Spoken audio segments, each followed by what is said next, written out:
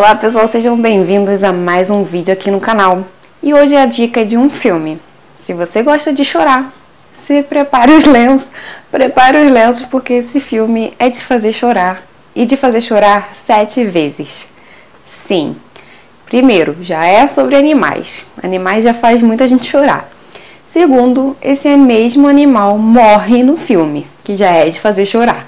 Mas não morre uma vez não, morre sete vezes.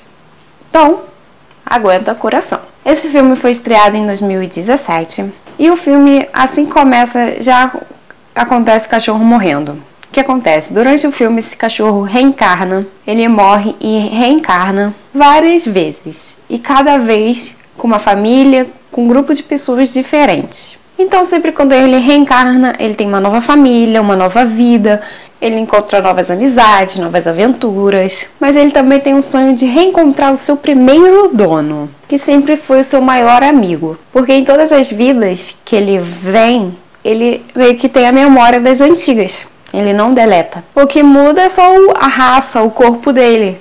Continua sendo cachorro, mas em raças diferentes. Então, o narrador da história é o próprio cachorro, ele narra o filme todo, como é que ele pensa, o que está passando na cabeça dele. E ele acredita que toda essa vinda dele para famílias, pessoas diferentes, ele tem uma missão, uma lição a ser aprendida principalmente pelas pessoas que convivem com ele. Então, o que acontece? É muito emocionante porque o cachorrinho ele teve seu primeiro dono, depois ele voltou mais algumas vezes, e no final do filme ele meio que reencontra o primeiro dono dele. E o primeiro dono meio que percebe que é ele, porque ele fazia as mesmas coisas que o seu primeiro cachorro fazia. E o cachorrinho fala: Sou eu, sou. Na cabecinha dele, né? Sou eu, sou seu primeiro dono.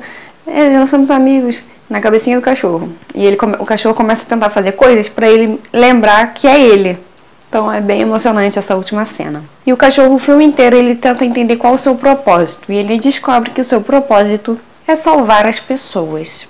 E o cachorrinho demonstra que temos que aproveitar cada momento, as pequenas alegrias, aproveitar os instantes, viver sem pensar muito no que tem que fazer, dá vontade de fazer, pega lá e faz. Viver verdadeiramente, intensamente. Porque os cachorros, quando eles gostam de alguém, eles demonstram, eles mostram que gostam mesmo. Eles pulam, fazem festa quando vê a pessoa.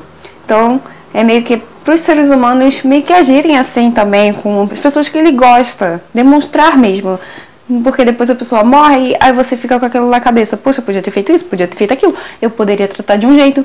Então o cachorro mostra que mostre, demonstre o máximo possível, mesmo que seja de forma exagerada.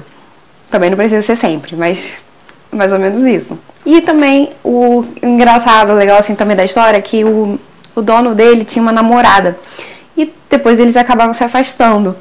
E essa namorada dele, a filha dela, se eu não me engano, ela pega um cachorrinho que é o cachorrinho que voltou, que era do primeiro dono.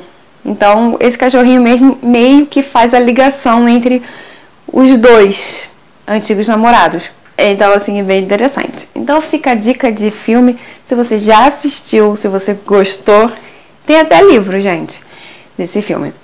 Então, se você gostou, se você vai assistir, deixa aqui nos seus comentários, deixa aqui seu like. Se você é novo aqui, não esqueça de se inscrever no canal. Um beijo, tchau, tchau.